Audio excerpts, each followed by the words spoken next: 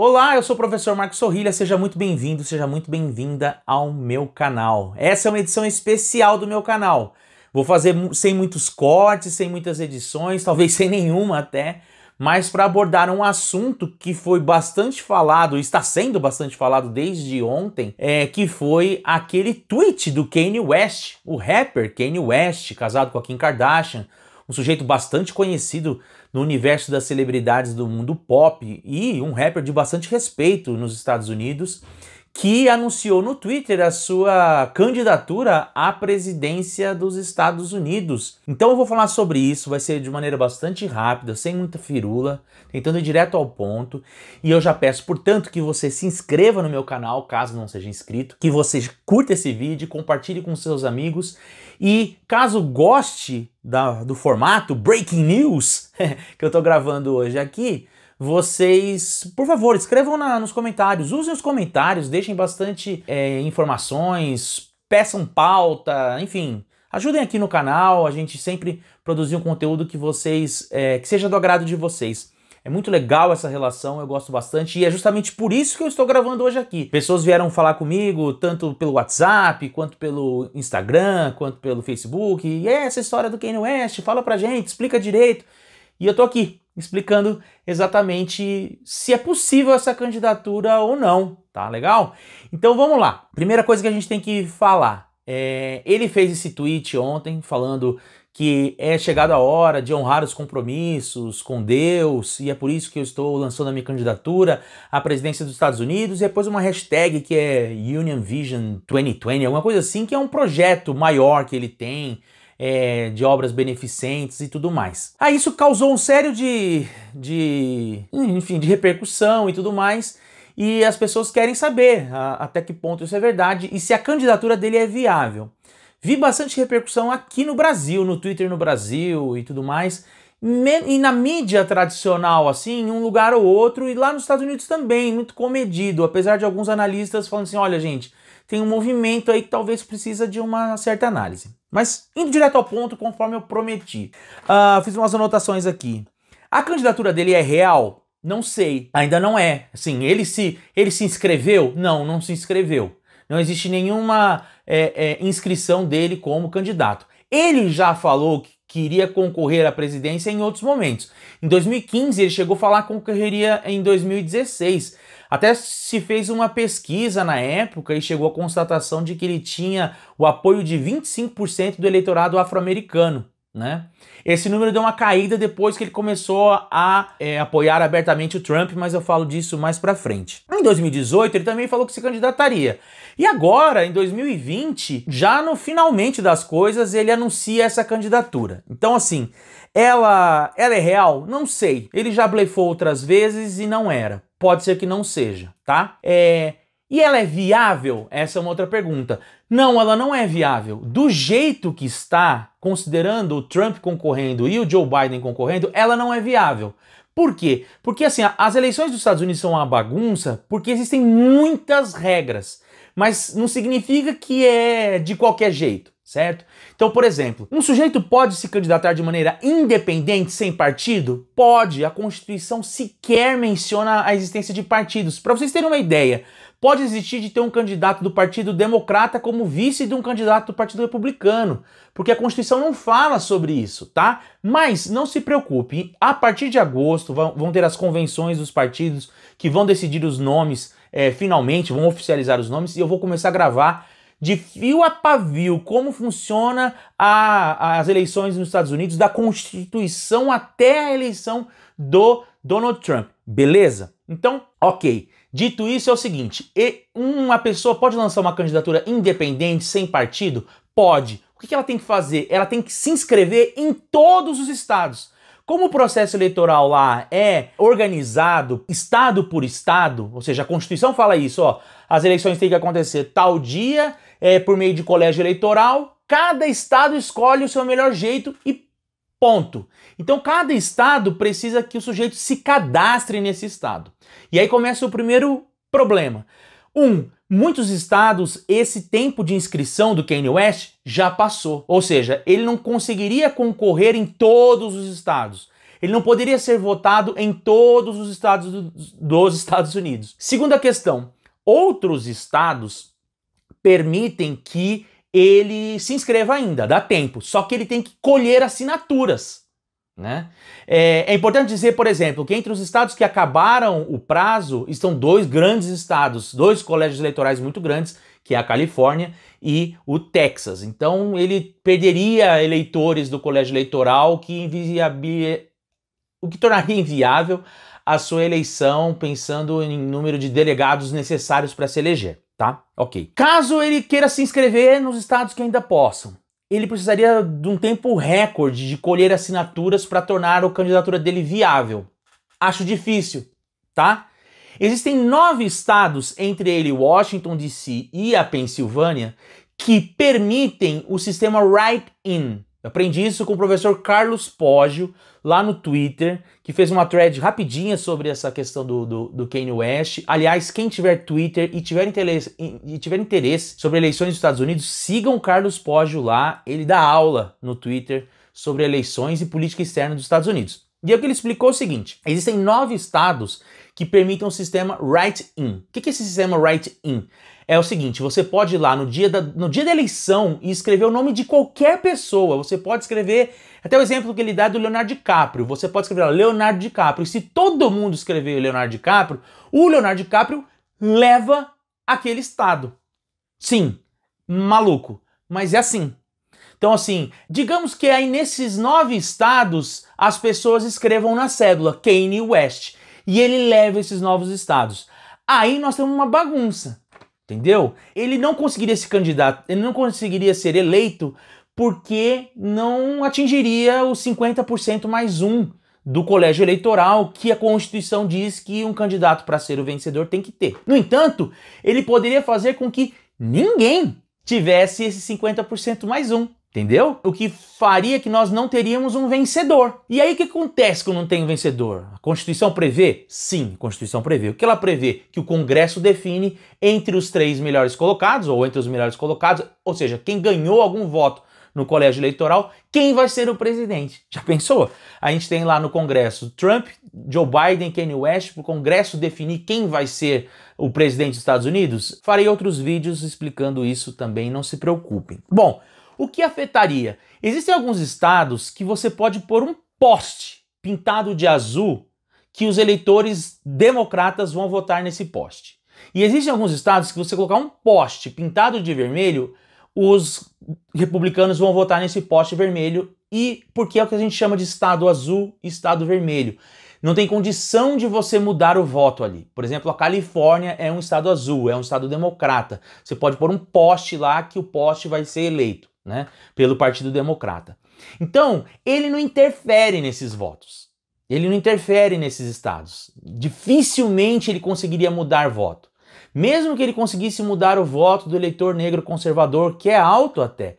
Né? É, entre os eleitores do Partido Democrata, os eleitores afro-americanos são mais conservadores do que a média do Partido Democrata, por exemplo. Ele poderia roubar votos do, do, dos candidatos, dos eleitores negros do Partido Democrata? Poderia, não me parece possível, né? Mas poderia. Então, nesses estados azuis e estados vermelhos, ele interferia muita, muito pouca coisa. Ele poderia alterar alguma coisa no que a gente chama de swing states, né? São os estados pêndulos, ou então os estados roxos, que às vezes votam democrata, às vezes votam republicano, como é o caso da própria Pensilvânia. A Pensilvânia não só é um estado right-in, como é também um estado pêndulo, que já votou muito a favor dos democratas e na última eleição votou a favor do Trump. Pode ser. Se ele altera isso daí, o que acontece? Dá bagunça, né? Então ele levaria isso. Ah, então, qual que é o cenário que o, que, o quem o West tem chance de se tornar presidente dos Estados Unidos? Do jeito que está posto, não. O que, que ele poderia alterar? Ele poderia alterar que, se ele conseguisse pelo menos os votos nesses nove estados writing, provavelmente a eleição não teria um vencedor de fato. E aí ela teria que ir para o Congresso. E aí, sem condição de chutar o que aconteceria lá. Tá bom? É... que mais? Quem que ele atrapalha com isso?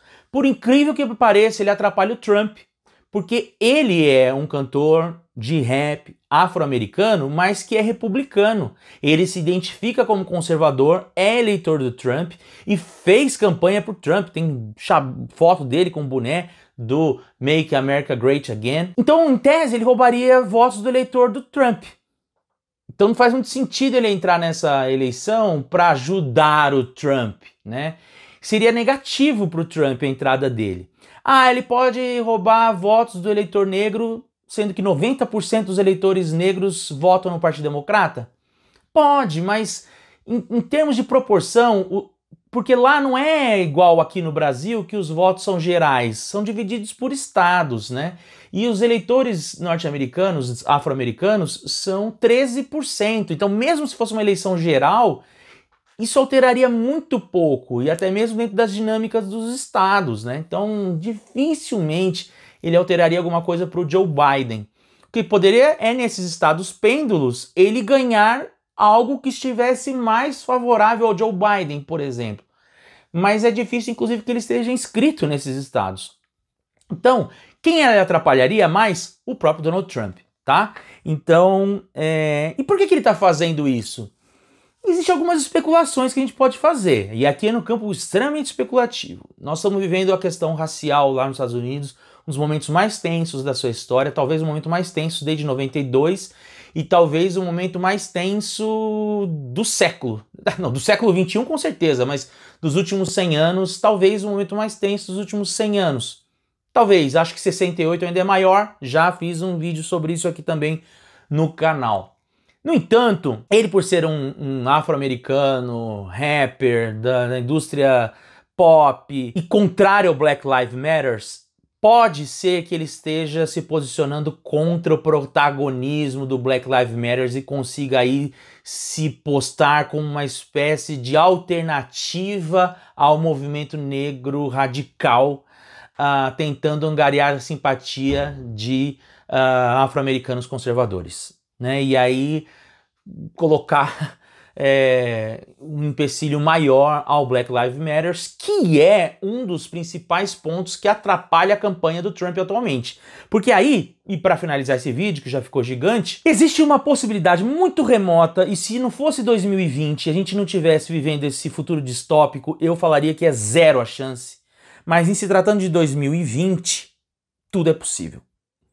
Existe a chance de, no dia da convenção do Partido Republicano, o Donald Trump, que já tem o número de delegados suficientes para ser o candidato do Partido Republicano, decline, não queira ser o presidente.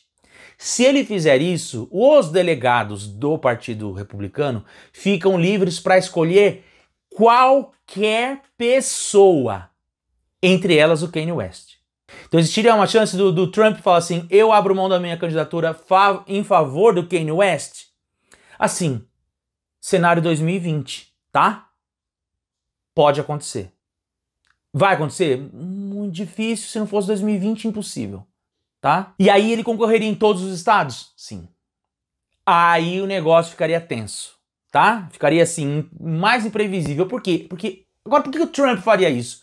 O Trump está vivendo o pior momento da presidência dele em termos de popularidade. O pior, o pior comparável a dezembro de 2017.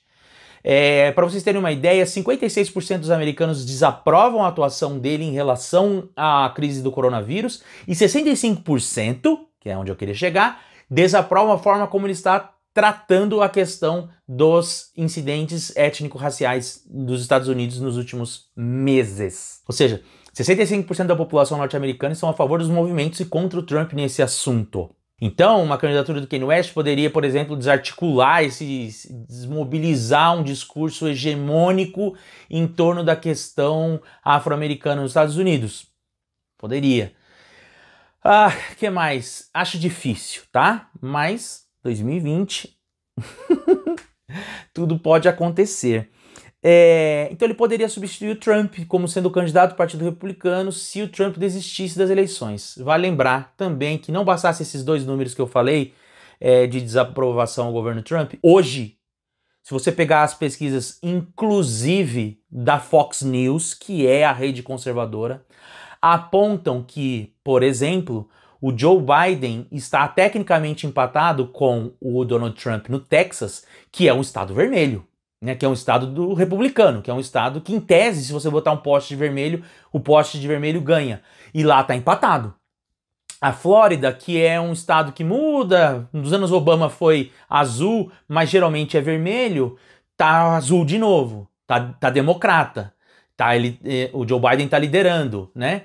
Então, assim, hoje, hoje, a vantagem que o Joe Biden tem em relação ao Trump é a mesma que o, Ronald Reagan tinha na eleição de 1984 contra o Walter Mondale, que foi uma lavada. Foi uma lavada. Ou seja, hoje o Trump está entrando num nível das pesquisas que eles chamam lá nos Estados Unidos de underdog. Ele vira o completo azarão na, na, na eleição. Então ele poderia largar a mão disso. Ele deu uma, de, uma declaração antes dizendo que a vida dele era bem melhor antes dele virar presidente. E foi engraçado que teve algumas, algumas pessoas de esquerda que colocaram assim: a minha também. É, e, e, é isso, né? Então, assim, ele poderia declinar diante desse cenário de não querer tentar uma reeleição que ele possa perder de fato? Poderia. A questão é: seria o Kanye West? Difícil. Né? Tem quadros dentro do Partido Republicano que lutariam contra isso, tá? Então, resumão para quem chegou até aqui. É verdade esse bilhete? Ele vai se ele, ele vai se candidatar? Não sabemos. Ele já blefou outras vezes, deu em nada, até agora não tem nenhum registro oficial. Número 2, é viável? Enquanto independente, não. Ele não tem capacidade de se, de se, é, de se inscrever em todos os estados em tempo hábil. Número 3, mesmo que ele se inscreva, e ganhe alguns estados no write-in, é, que é só aquele sistema que você pode escrever na cédula. O que isso alteraria? Talvez nós teríamos um, um segundo turno no Congresso, que teria que decidir quem seria o presidente dos Estados Unidos, tá? É, quem ele atrapalha mais? Ele atrapalha mais o Donald Trump. É possível que ele saia como candidato do Partido Republicano? Em se tratando de 2020, sim. Beleza? Não sei se ficou claro. Tentei explicar aqui essa, é, essa movimentação aí que se deu a partir de ontem para esclarecer aqui a, esse lance. Afinal de contas, esse canal nasceu justamente para falar de eleições nos Estados Unidos. Se ficou dúvida, deixa aqui nos comentários. Se querem mais é, é, é gravações nesse formato Breaking News, deixa também nos comentários. Até mais. Tchau, tchau.